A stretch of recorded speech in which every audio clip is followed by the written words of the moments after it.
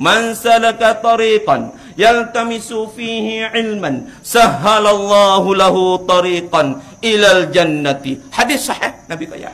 Siapa-siapa fok kita ni? Oh ya, Nabi koyak fok kita. Nabi cencu fok kita. Siapa-siapa salaka tariqan yang tubik daripada rumah, cari jalan. Dia nampak dia jalan rumah ni dah. Tubik jalan, start motor, start kereta, jalan kaki. Gimana? Yaltamisu fihi ilman, nak pergi ngaji dengan orang ngajar, nak pergi masjid, nak pergi dengar tebah. Yaltamisu fihi ilman. Gapo hak tu hawi ku kita ni? Hari ni hak kita mari ni gapo hak Tuhan balas hak kita ni? Sahalallahu lahu tariqan ilal jannati. Allah akan permudahkan kepada puak kita semua akan jalan untuk masuk syurga. Rupa-rupa tuan-tuan, jalan nak masuk syurga ni payah. Sebab itulah kena dipermudahkan. Siapa dia mudahkan jalan tu? Allah. Melalui apa? Melalui kita kena pergi dengan orang ngajar. Gi dengar orang ngajar, bukan suruh faham. Tak. Bukan suruh faham, suruh pergi.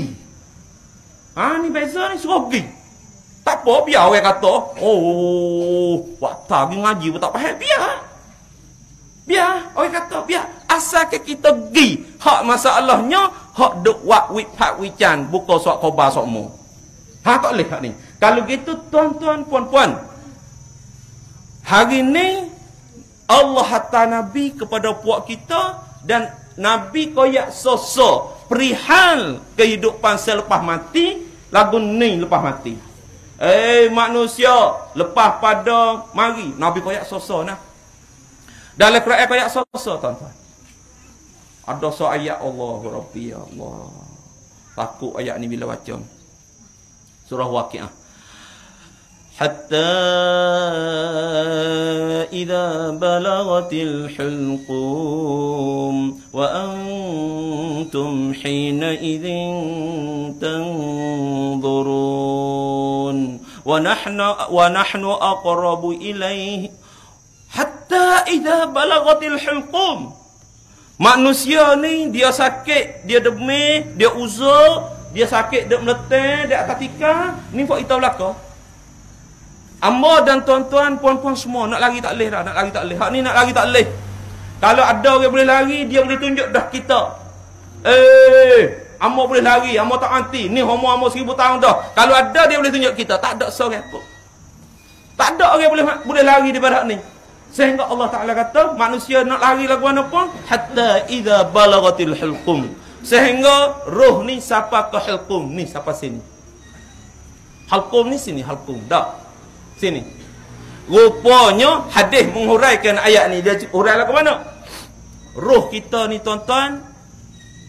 Allah hatta malikil maut. Mari ambil roh kita tubik tu. Dia ambil melalui kaki. Oi.